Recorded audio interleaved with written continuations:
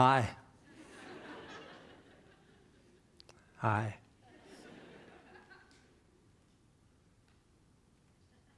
Hi.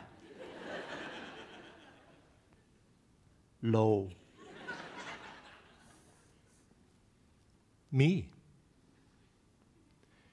You. We. Hi. Fred Penner is my name. I am a singer. I have been doing what I do, standing on a stage, sharing my thoughts and feelings and music with, with, uh, with a generation, and you seem to have all grown up quite nicely. I'm, I'm happy to see that. This has been my life for 40, 40 plus years. I can't believe it. This is what I do. I travel around the world sharing songs and stories and thoughts and feelings. And for the next 18 minutes, that's right, the clock is ticking. For the next 18 minutes, I am going to try and give you some kind of perspective of where I come from, the influences that have been part of my life that ultimately will hopefully share some light on the, the mighty question what is the future of children? It's a big question. It's a difficult question. It's a challenging question. Children are uh, sponges. It's a fact. Children are sponges because they observe and imitate the things around them. They're vulnerable, they're susceptible to everything that happens around them. So that's why it's all the more essential that we, as the caregivers, as the parents, bring positive energy to those children. That's, that's the, the, the bottom line for me. Uh, so that ultimately they do grow into positive adults. It's a, it's a pretty clear process, I think, where, where you start with this beautiful, vulnerable, vulnerable child, baby, nurture until they grow up, hopefully, to be, as I said, positive children. My positivity comes from the arts. I love making music, I love sharing my thoughts and feelings. I've gotten I've gotten pretty good at it over the years, actually. And it seems to have been received positively by, by you, by that generation. Mm-hmm. Um, if you ask any parent or grandparent about their children, they will tell you that children are, um, are essentially born into the arts. They will, will create drama, they'll create music, they'll create rhythm, they will discover things naturally around them that, that, that, that, that give them some sense of accomplishment and help define themselves. They learn how to play, they learn how to learn, learn how to learn. That's an interesting concept. Uh, they learn how to communicate, they learn how to celebrate. Uh, defining themselves. Identity is is one of those phrases that, that keeps coming back in my mind. What is the identity of a child? And how do they fit in with the arts? It's something that, that confuses me a little bit is the arts been thousands of studies, perhaps not thousands, but hundreds at least, studies have been done of the value of arts in the life of a child. That's, that's not a matter of opinion, that is a fact. I know that's a fact. I've seen that in action. So, why is it that whenever a cut is going to happen in the school system, they look at cutting the arts. That, that confuses me. So if you are involved in, in school systems, if you are moving into that world, please keep that as a perspective. The arts is, is valuable in so many directions. It helps the child's, well, the child's identity. When I do performances, I'm always thinking about, about where the kids are and, and what, they're, what they're thinking. And I want them to all, as I want you to all be part of this process today. I have questions for you. What planet are we on? Are you sure about that? I don't know. Sometimes I wonder. Okay, Earth it is. What continent are we on? Good. This is a, a lesson. You can respond. Don't worry. North America, yes. What country are we in? What province? What city? What is your name? What is your favorite color? What is your quest? I seek the Holy Grail. Ah, a couple of Monty Python fans, good.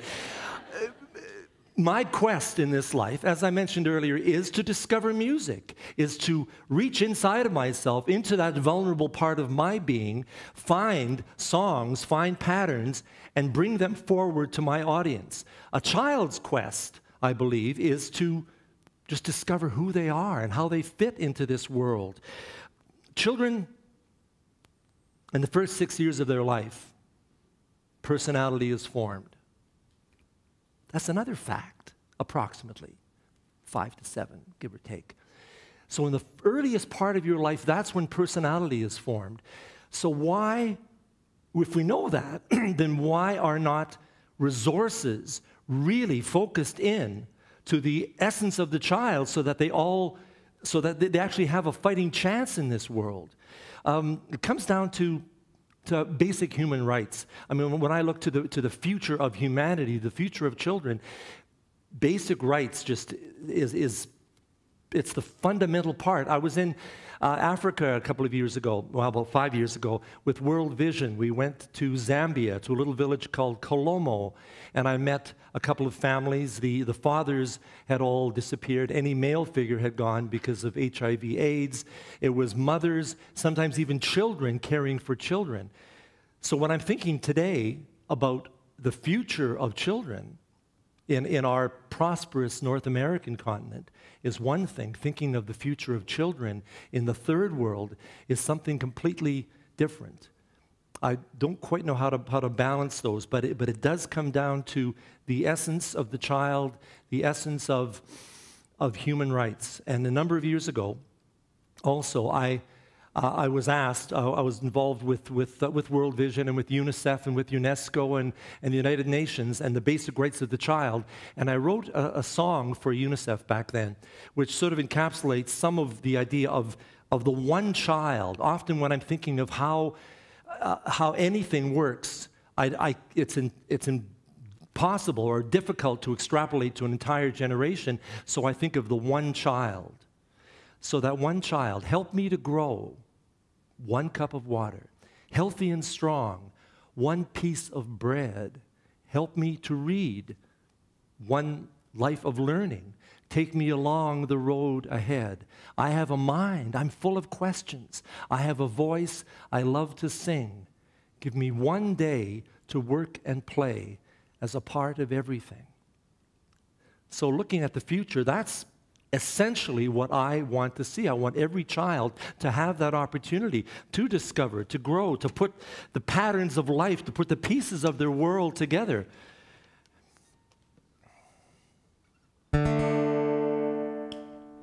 When I was a little child, about as old as you, I collected things that I would find and hide them in a shoe. Rocks and shells and bottle caps, a ball of foil or string, they didn't cost a penny, and I felt just like a king. Here's your part. One to five and six to ten, collect your thoughts and start again. One to five and six to ten, collect your thoughts again. Now I'm bigger and I'm older, and I've learned to really treasures from around the world. I keep them in a. You're paying attention. Stamps and coins and stickers, a story, poem, and song open my imagination to thoughts that make me strong. One to five and six to ten, collect your thoughts and start again. One to five and six to ten, collect your thoughts again. Now I can't show you the collection that means the most to me because it's hidden deep inside where nobody can see. It comes from those who care for you. This collection has its start in the memories and the feelings and the pictures in your heart. One to five and six to ten, memories that never end. One to five and six to ten, memories never end. Try. One to five and six to ten, memories that never end. One to five and six to ten, memories never end. Oh,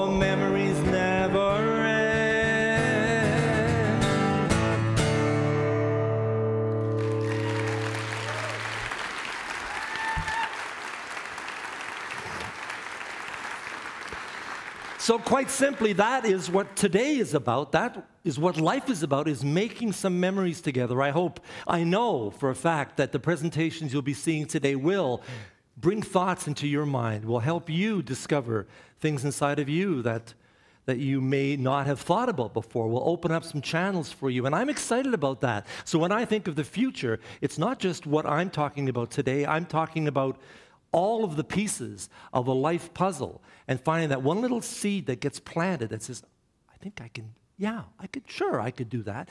Finding the confidence to take that seed and move it, move it in another direction. So, in my perspective, in order to look to the future, you need to look to the past.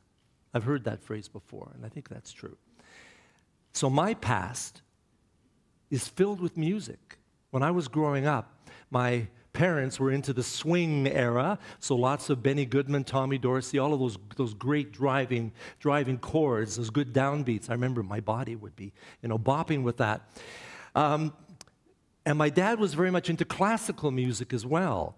I remember him air conducting orchestras in the living room. He'd stand there, eyes closed, and he'd have this imaginary baton, and he would be conducting. So the music was inside of him. And I, and I, remember watching that and thinking, boy, that, that's a pretty powerful emotion to feel that inside of you. Children have the same kind of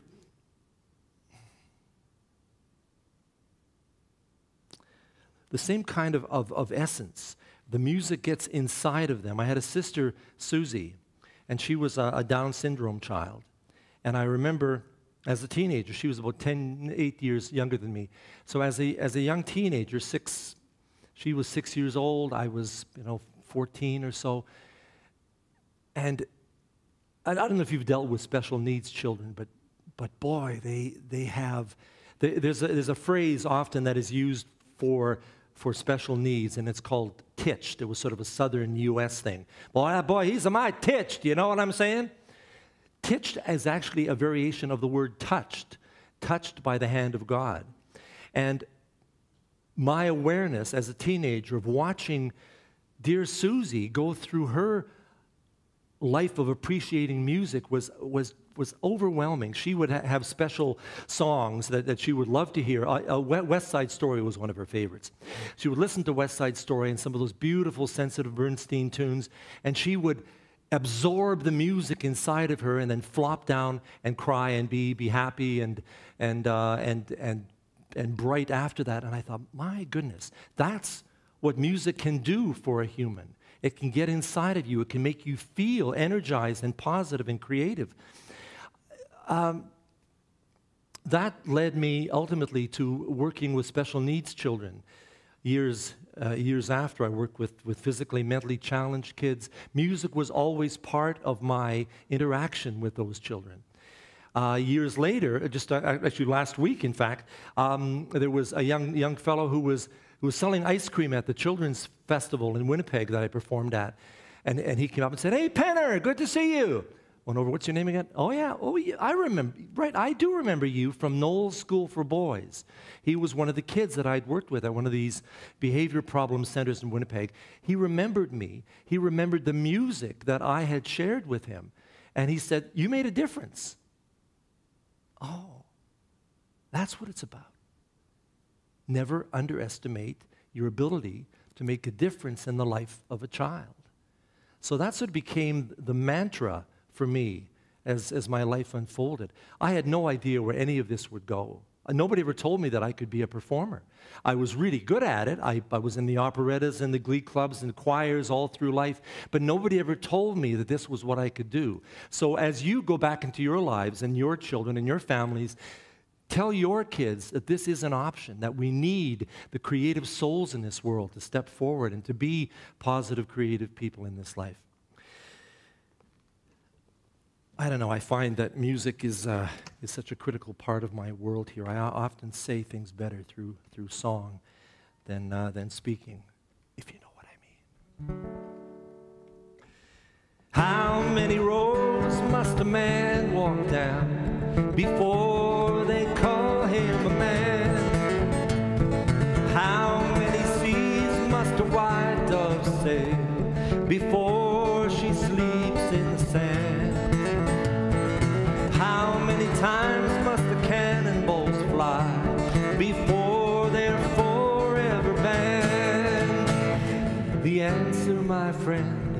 blowing in the wind. The answer is blowing in the wind. So music has touched my soul in so many ways. I am from the 60s. And these tunes, songs like this, were, were so critical because they formed a foundation for me. Appreciation is the bottom line, but an understanding of the world on another level. My sister Susie, as I was saying, is a Down syndrome child, and I wrote a song for the Down Syndrome Society, which, looking at the future of of life, of children, sort of encapsulates a lot of my feelings. It's called Celebrate Being, which was the name of the conference.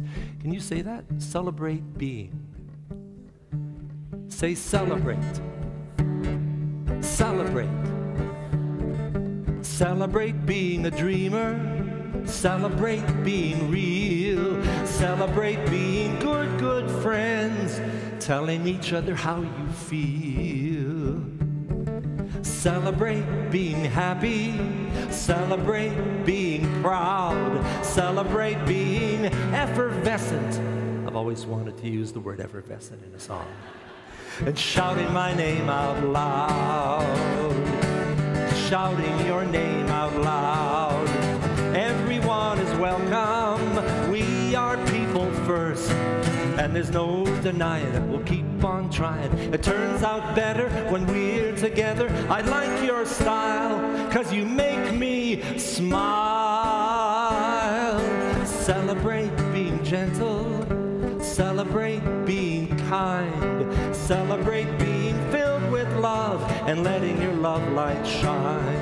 Yeah, celebrate being filled with love and letting your love light shine. Letting your love light shine.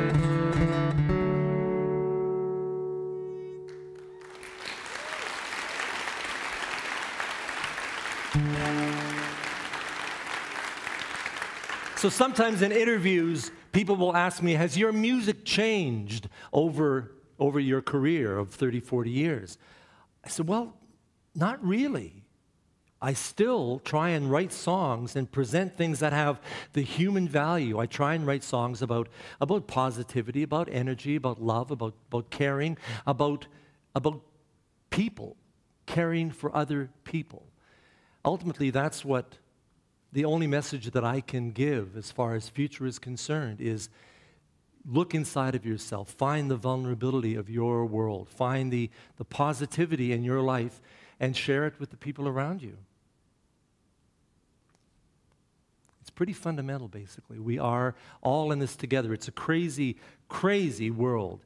And what children are being asked to take in and assimilate and, and, and understand and bring into their own world is, is overwhelming. Find moments to chill. Help your children find a corner. Like Fred Penner's place, that's what it was all about, is a place where you can chill, crawl through that log and go, oh, thank goodness I'm here. Thank you.